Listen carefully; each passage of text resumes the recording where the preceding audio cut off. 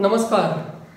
आज मैं उन छात्रों के साथ बात करना चाहूँगा जो अभी अपना M L T D M L T B M L T B वो का एजुकेशन ख़त्म करके अभी इंटर्नशिप में जाने के लिए तैयार है।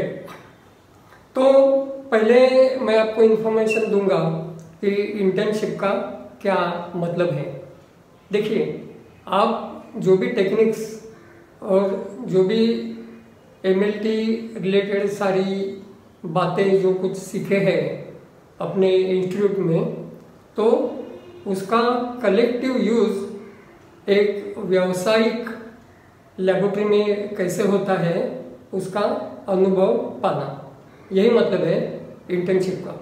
काफ़ी फ़र्क है ना कि आप लैब में, अपने कॉलेज के लैब में काम करते हैं और हॉस्पिटल में तो कमर्शियल भी लैब के साथ काम करते हैं उसमें।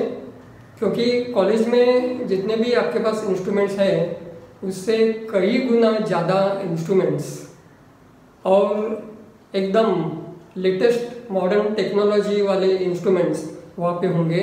और सबसे महत्वपूर्ण बात यह है कि वहाँ पे पेशेंट्स होंगे और पेशेंट के साथ कैसे व्यवहार होती है, वो सब पाने के लिए आपको इंटर्नशिप ये एक बहुत ही महत्वपूर्ण बात है। तो इन जनरल इंटर्नशिप में आपको ये सारी चीज़ें देखने के लिए और सीखने के लिए मिलते हैं।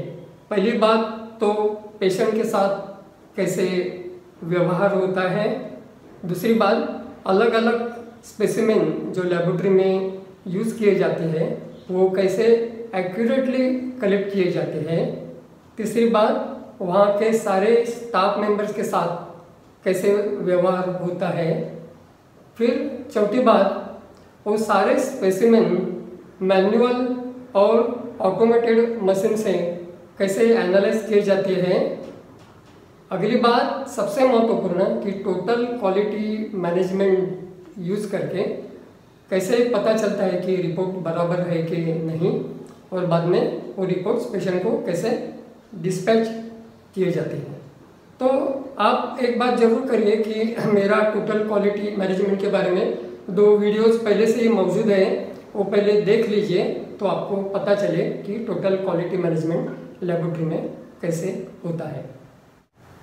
इंटर्नशिप में जाने के पहले एक बात का ख्याल रहे कि आपको क्लिनिकल लेबोरेटरी के बारे में पूरी मालूम हो।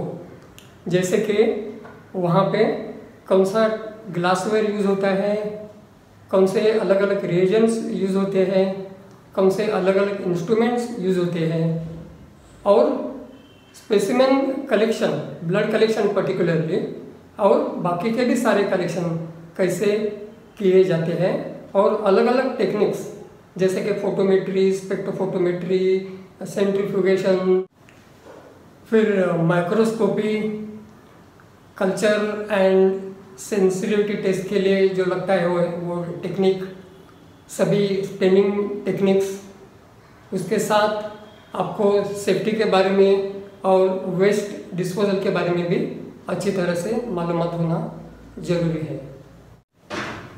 तो शुरुआत कैसे करनी है? वहाँ पे रोज़ आपको टाइम के पहले कम से कम 10 से 15 मिनट पहले पहुँचना है। और साथ में क्या लेके जाना है? एक नोटबुक एक विषय के लिए। हर एक विषय के लिए अलग अलग नोटबुक होना ज़रूरी है। साथ में एक पेन होना चाहिए। नाइक्रोन बुक की शायद ज़रूरत पड़े। और आपको एक अच्छा सफ़ेद सुथरा लेबोरेटरी कोट हमेशा साथ में लेके जाना है। ये बिल्कुल मत भूलिए। तो अब मैं आपको बताऊँगा कि रोज का रिपोर्ट आपके नोटबुक में कैसे लिखते हैं। पहले आज का तारीख लिखिए, उसके बाद में आप जब लेबोरेटरी में जाएँगे, तभी का टाइम लिखिए और लेबोरेटरी में से जब निकल जाएँगे, वो टाइम तभी लिखना और उस पर डिवीज़न हेड का सिग्नेचर लेना। और दिन के शुरुआत में ही आप डिवीज़न हेड से पूछिए कि आपके लिए वो क्या काम बताते हैं। और वैसे आप काम करिए और नोटबुक में लिखते जाइए।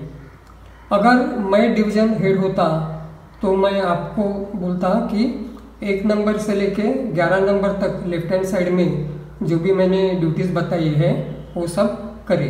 तो वो क्या है कि पहले आप स्पेसिमेन जैसे कि खून यूरिन स्पुटम वो कैसे कलेक्ट करते हैं, वो देखें। पेशेंट्स को इंस्ट्रक्शंस कैसे देते हैं वो देखें। फिर सीरम और प्लाज्मा का सेपरेशन कैसे करते हैं वो देखिए और नंबर लिखिए कि कितने आपने सैंपल्स का सेपरेशन देखा। फिर ब्लड कलेक्शन कैसे करते हैं वो देखें। वैक्यूटिनर सिस्टम कैसे यूज़ करते हैं वो देखें। और आप खुद अगर अच्छी तरह से खून कलेक्ट कर सकते हैं और आपको खून करने को दिया गया तो कितने पेशेंट का खून आपने कलेक्ट किया, वो नंबर लिखिए। फिर हिमाटोलॉजी एनालाइजर जैसे कि एग्जांपल एरमा का कार्य देखा है तो वो लिखें। बाद में जो रिपोर्ट आती है, उसको हम हिस्टोग्राम कहते हैं। वो रिपोर्ट देखें और समझने की कोशिश करिए कि हिस्टोग्राम वैसे क्यों निकला है। उसके लिए आप हमारे बुक का सहारा लें। फिर हिमाटोलॉजी में क्वालिटी कंट्रोल कैसे करते हैं, उसकी जानकारी लें। और डायल्यूटिंग फ्लूड और कैलिब्रेटर्स की भी जानकारी लें कि वो कैसे यूज़ होते हैं एनालाइजर पर। बाद में आप क्या करना, निकलने के पहले एक डेढ़ घंटे पहले कि खून के स्मेयर्स बनाइए स्टेन करिए और वो स्टेनिंग के बाद में माइक्रोस्कोप के नीचे देखें और उसके ऑब्जर्वेशंस लिखें। तो एक बात नोट करिए कि ऐसे ही आप लिखते जाइए हर एक सेक्शन में जो भी आप काम करते हैं, उसकी जानकारी। और बाद में जब भी आप घर लौटेंगे, तभी खाना खाने के बाद में आराम से बैठ के जो भी काम किया है, वो देखिए पहले और उसके बारे में बुक के साथ रिलेट करें। बुक के साथ फिर आप देखिए कि आपका ज्ञान और कैसे बढ़ सकता है और उसके बारे में सोचें और आखिर में मैं आप सभी को एक बात बताऊँगा कि अगर आपके टीचर ने आपको कुछ प्रोजेक्ट दिए हैं तो आप ज़रूर बनाइए, मगर आप हर एक सेक्शन के लिए एक प्रोजेक्ट अपने आप ज़रूर बनाइए। मेरा वीडियो है कि प्रोजेक्ट कैसे बनाते हैं वो देखना यूट्यूब पर। और एक आप प्रोजेक्ट ज़रूर बनाएँ पर सब्जेक्ट तो आपके पास कम से कम पाँच नहीं तो छः अच्छे प्रोजेक्ट्स होंगे। तो जब भी आप वो प्रोजेक्ट लेके जाएँगे इंटरव्यू के लिए तो इंटरव्यू लेने वाले काफ़ी खुश हो जाएँगे और आपको जॉब मिलने की संभावना बढ़ जाएगी। मगर ध्यान में रखिए कि प्रोजेक्ट के बारे में आपको हर एक लाइन के बारे में अच्छी तरह से मालूम होना ज़रूरी है।